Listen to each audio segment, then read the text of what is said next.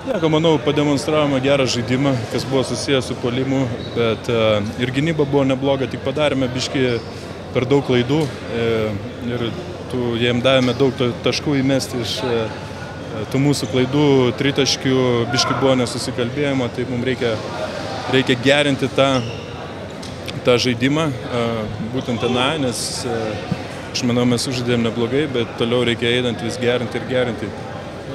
Pasirengėme etape, ne, neblizgėjau, šiandien buvai komandos lyderis, kas pasikeitė?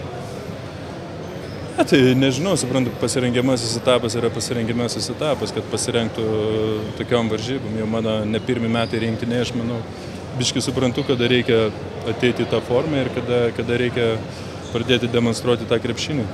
Ar tai fanai Mesevos kažkiek trikdė ar nelabai? Ne, nu ką tie fanai, kad na, tokias pirmoji pusė tos varžybos buvo, buvo, buvo tokios įtemptos, antroji, antroji irgi turėjo galimybę sugrįžti ir buvo ir, ir, ir sirgo, bet kažkaip vis tiek nejautėm to, to didelio spaudimo. Ar Leivisas Maskvitas ir mokyklo taip išsidirbinėdavo, ar kitoks būdavo? Ne, jis toks žmogus yra, čia, čia jau tas toks Pietų Amerikos mentalitetas pasi, dėl to jis ir yra geras. Ir jis daug pasiekęs, jis nėra, kad jis būtų super talentingas, greitas ar ten turėtų tos atletiškų, ko nors įsiskirti, bet jis yra naglas žaidėjas, yra geras žaidėjas ir čia jis jau nuo mažų dienų toks buvo, tai čia niekas, niekas nepasikeitė. Kas ten vyko paskutinėmis sekundėmis tarp trenerio varžovo? Ne, tai man, manau, tas treneris biškai nesupranta, kur jis atsidūręs gal.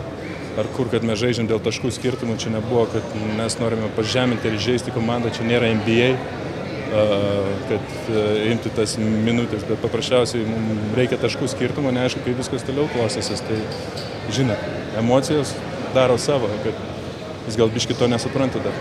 Kalbėjot angliškai, tai turbūt suprato. Ką? Kurie, kurie iš jų. Ai, tai iš mano, tai jis tikrai suprato, gal tikiuosi ateitis manęs netreniruos. Nebus man gerai. Žinai, dabar laukia Nigerija, tikriausiai žiūrėt, Nigerija, Venezuela, kokie pagrindiniai akcentai bus tose rungtynėse. Pagrindiniai reikia žaisti protingai, yra atletiška komanda.